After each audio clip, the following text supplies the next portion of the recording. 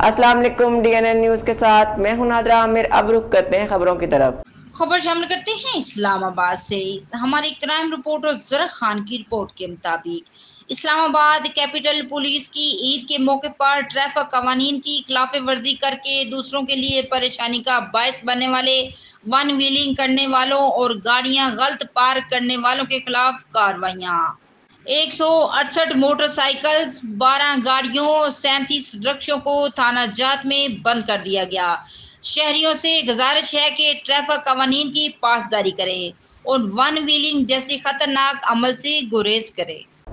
अब तक के लिए इतना ही। मजीद जानने के लिए हमारे साथ रहिएगा।